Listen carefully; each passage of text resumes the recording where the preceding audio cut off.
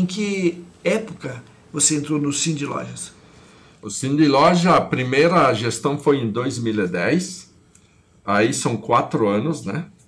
E fui reeleito e, e até, até dezembro, 31 de dezembro de 2017, são oito anos, né?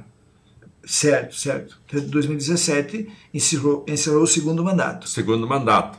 Aí entrou aí, o Sérgio Rossi. Aí entrou o Sérgio. Mas o então Sérgio já tinha sido presidente antes de você. Duas vezes. Duas vezes também. O Sérgio tem três mandatos ali. Agora. Ele tem dois mandatos antes de mim, de três, eram mandatos de três anos. Uhum. Ele fez três mais três. Aí eu entrei, no, em 2010 mudou para quatro. Isso a confederação, as certo. federações aí que estipulam isso aí. Certo. Mudaram o mandato para quatro. Eu fiz quatro mais quatro. Aí o Sérgio agora fez um de quatro. Então ele tem três, seis mais quatro, quatro dez, né? E a minha, né, aí, é quando 8, completada. Mais 4, 12. 12 daí. Né? Completa né? quando? Completa agora 25, né? Final de, de 2025. Me chama a atenção isso, Bono. É, nada conta, nada porque a experiência conta muito também. Né? Sim. Uma reeleição conta muito como experiência.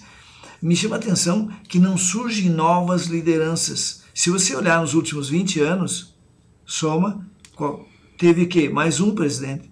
Eu até te diria que surgiu até, porque uh, essa minha reeleição aqui não estava programada, Senair. Eu também, eu, eu sou da pessoas que prezo para que tenha renovação, uhum. que se dê oportunidade a novos líderes. Só que houve, houve ali duas chapas, né? Pois é. E o presidente Sérgio ali, o ex-presidente Sérgio, sempre dizia que ele, ele era o candidato à reeleição. E a gente apoiou ele, né? Até no final. E no dia que foi é, feita uma assembleia para isso, ele ficou sabendo, segundo ele disse que não sabia, que tinha o Dário ali, o, a turma, o Dário tinha uma chapa, né? Uhum. Para de oposição. E aí, depois de muitas discussões aqui e dali, o Sérgio acabou declinando. Não, então se tem oposição, eu não quero.